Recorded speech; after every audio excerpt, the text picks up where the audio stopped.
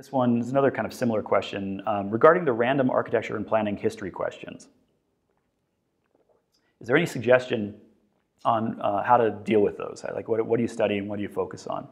Um, my suggestion on the history and the uh, planning history questions, architecture history and planning history questions, um, is that you just get some very simple, straightforward, um, uh, you know, you, you, probably have one sitting around from an architecture history class, uh, but just a simple textbook. Um, uh, there's a, a, bunch of uh, any of the, the sources, um, the Ballast and the Kaplans and, and those sorts of things have a lot of sort of very simple, straightforward sources. Um, we have some on some of our uh, um, uh, videos um, that talk about these, these issues.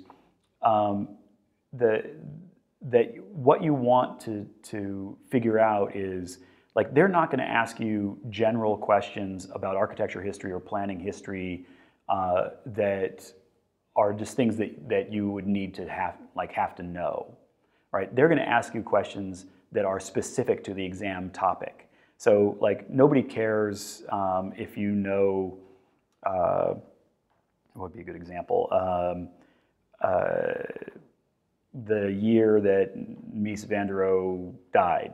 You know, like doesn't matter. But you should know that Mies van der Rohe focused on steel structures. Like you can very quickly and clearly identify him in a very particular way.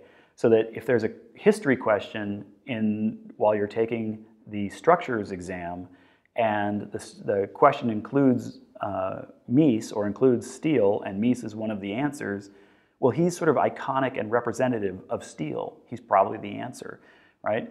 Uh, if you're talking about concrete, it might be uh, Calatrava or Nervi or somebody along those lines. Um, so what you're looking for when you're doing the studying, you don't need to study everything. You're looking for the iconic ones that are easy to ask a question about. They do, they're not trying to figure out if you are potentially an architectural historian. They actually don't care about that.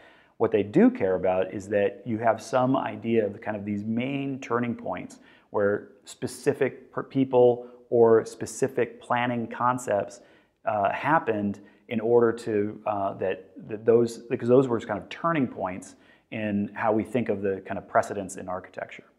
So from a planning standpoint, a couple of the ones that jump to mind are things like the Garden City movement uh, that came from out of the UK uh, around the turn of the last century.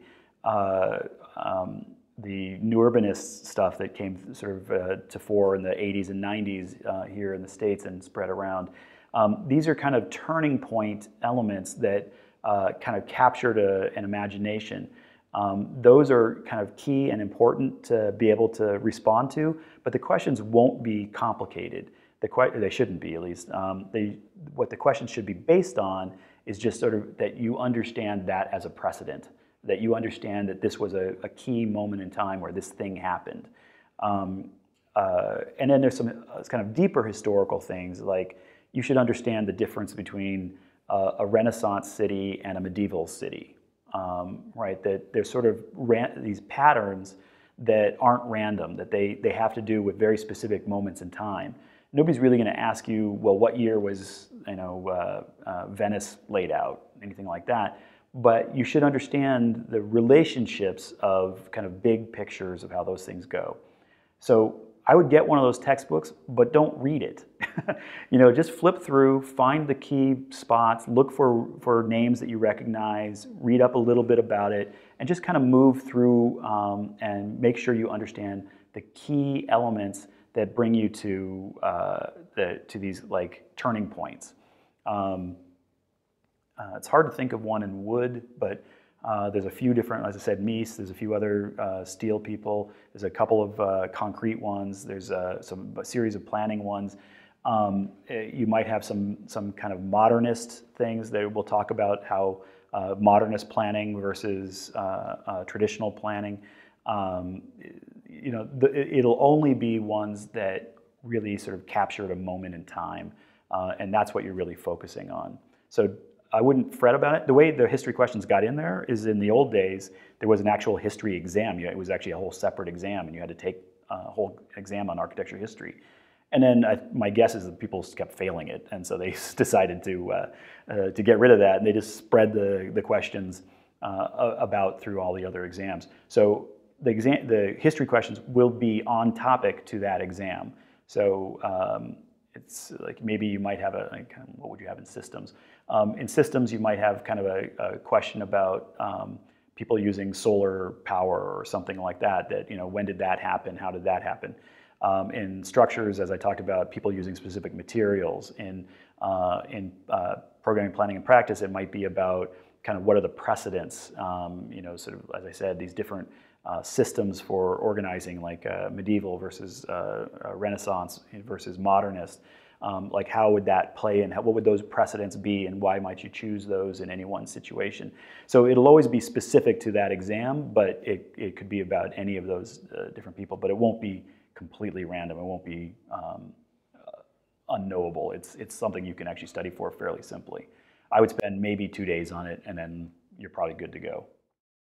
Today's ARE Live episode is an extension of our online ARE curriculum that you can find on blackspectacles.com, the home of online learning for architecture and design. If you need to prepare for the ARE, which I assume many of you guys do, and if you're looking for a good way to study for the exam that's more flexible and easier to digest than the traditional exam prep materials, and head over to blackspectacles.com to try out any of our free ARE video tutorials that are taught by tonight's presenter, Mike Newman, and that are built in collaboration with AIA Chicago. As an attendee, and as you can see here on the screen here, we have a couple of notes or information for today's episode. Anyone who is attending today's session, you're eligible to use this coupon code worth 15% off the first charge on your individual membership. If you're one of those folks who would like for your firm to purchase Black Spectacles Access for you and your colleagues, just visit blackspectacles.com slash business which is this fourth link here, and we'll send all the information for your firm to get set up. And also from now until the 15th of next month, firm memberships are 15% off if you mention this episode when you submit your form through blackspectacles.com slash business. Also on this, you'll see that our next webinar will be on May 27th with Mike at 6 o'clock. So if you'd like to register for it, here's the registration link. We're still firming up the details and the actual topic. So if you have any suggestions and would like Mike to cover a specific topic or would like us to interview someone in particular about a specific topic, please let us know.